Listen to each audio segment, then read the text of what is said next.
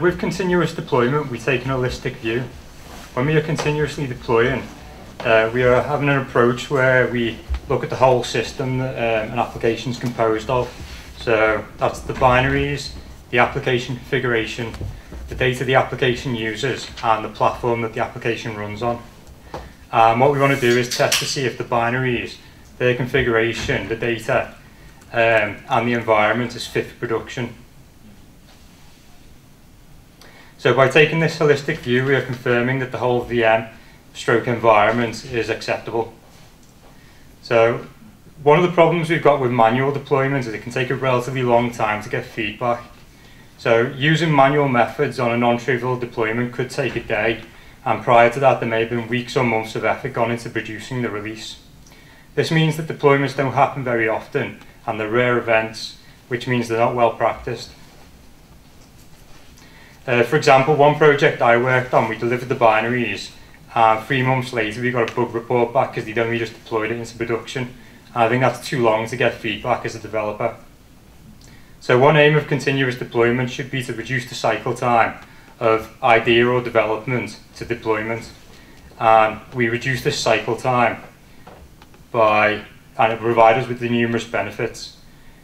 It provides the development team with feedback on the work they've just developed while it's still fresh in their minds.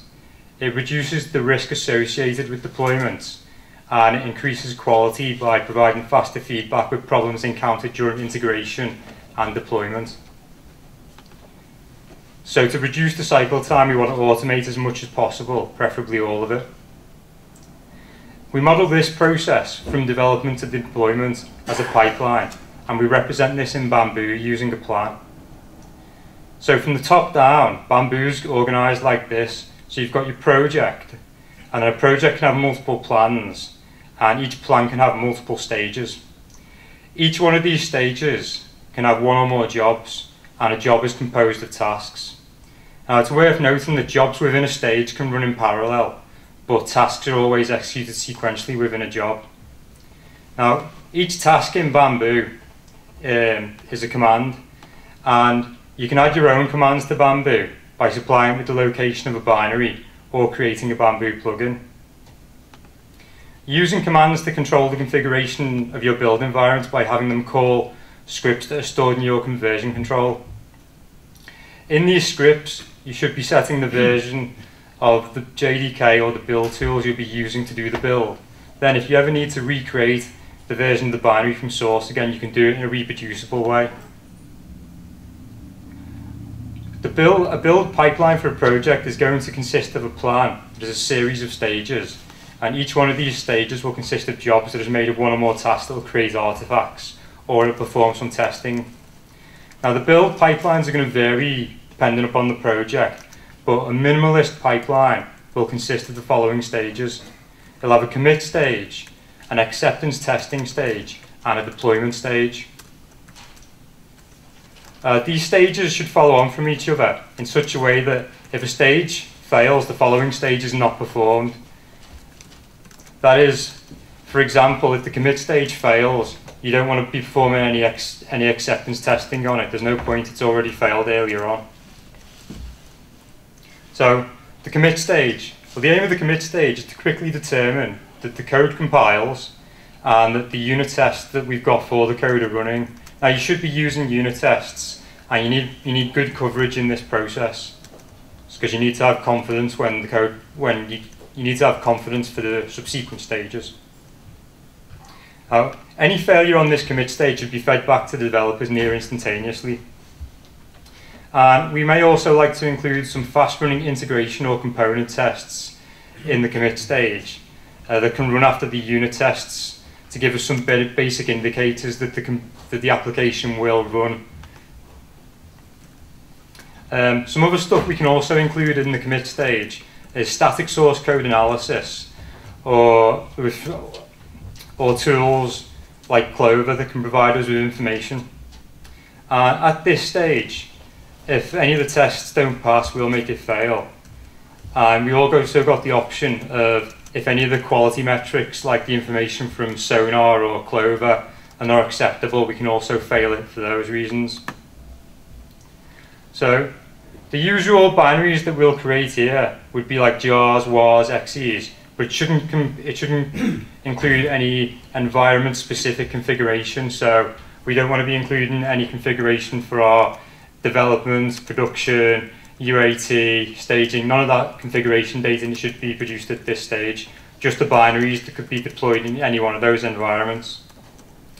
Now, I'd advocate Instead of just creating jars and wars, I'd actually advocate producing installers for your application that will be targeting the package manager on the target environment. So for Linux, you could create installers uh, for in deb or RPM format, and for Windows, you could create an MSI file. And there are a few reasons for this. Uh, this method of application installation is well tested in the field. Um, the package managers can access repositories that you can create. So you can store your releases versioned um, on a separate system. And you can use that when provisioning your, your environments. Um, and uh, they provide for various files to be placed across the, um, across the operating system and registry in a consistent way. Uh, for example, in the Linux style ones, you can find out what file, um, what package the file belongs to by uh, using RPM or the deb system. Um, in the acceptance stage, uh, we'll start to pull in the application configuration. And in this stage, we aim to create an environment that is production-like and run our acceptance tests against it. So we want what we're looking for here is to get tested configurations so you should be running changes in your configuration through the build pipeline too. So if your operations team need to make a configuration change, for example, tweaking the JVM memory settings, that should be committed to source and that change should run through the build pipeline as well. Um, and this will give you confidence that um, all your configuration changes, all your configuration changes have had acceptance tests run against them. So no configuration should be applied directly by editing the configuration files. This needs to be this needs to happen because you don't want to be in a situation where you've got an application that's well tested but the configuration isn't. Uh, I've seen that in a lot of organizations where they deploy well tested applications but then when it gets to the operations side, side of things, the deployments are just sort of like hack and slash and people going in and just editing the config files. Well, we need to get that under source control and run that through testing as well. So, and not just for your application, but you should also keep the configuration for your entire platform under source control as well. For example, if somebody changed the number of open file descriptors an application can have open, um, when Apache starts running under load, it could start crashing or something. And while that may not be the main part of your application, it's still in the environment so you don't want that to sort of affect you. So we've set up our acceptance test environment and have run some acceptance tests, maybe for example cucumber tests, and tested the behavior that it functions correctly. At the end of the acceptance stage, we'll have a configuration that's been automatically verified, and we may have some additional artifacts such as logs that are available to be analysed if it failed. So moving on to the deployment stage. In this stage, the binaries and configuration should be automatically deployed to a staging or UAT environment, or if you're feeling really confident, perhaps a production environment. And we want to automate this process as much as possible. At the end of the deployment stage, we'll have automatically deployed the application to the environment that's as close to production as possible, and preferably a replica.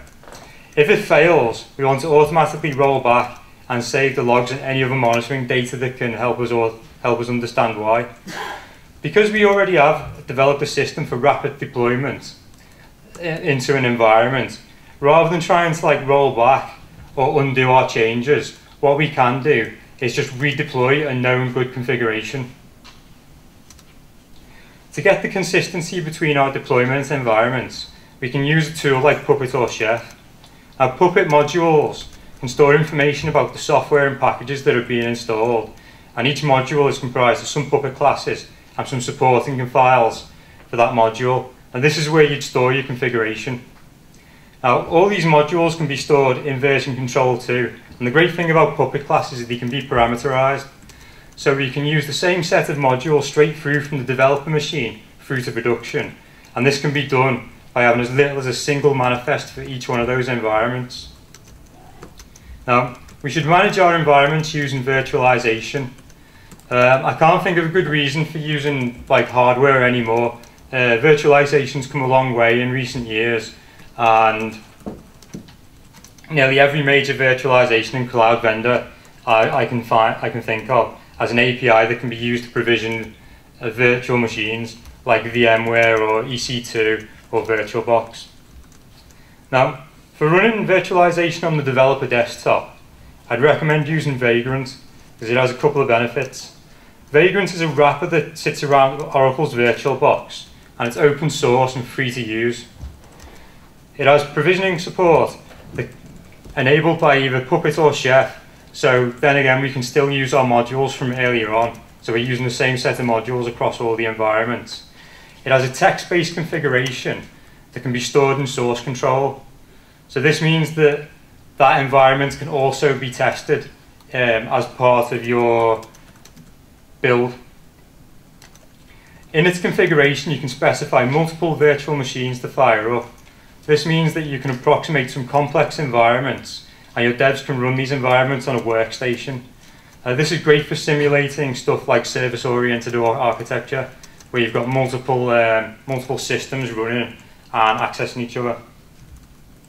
I found that typically on a modern workstation, you can run an IDE and three or four VMs on the developer workstation with about 8 gigabytes of RAM. You can also set up Vagrant as a command on your Bamboo instance, and that's how you'd use it to test the developer configurations. So by following the strategy I've outlined using Bamboo, you can save time and effort with your deployment, and you'll have more confidence in the deployment process, and you'll be performing it more often. And the quality of your product should improve because you'll be reducing the amount of time it takes for developers to receive feedback. My name is James Lowry and I'm a technical consultant at Adaptavist. Thank you.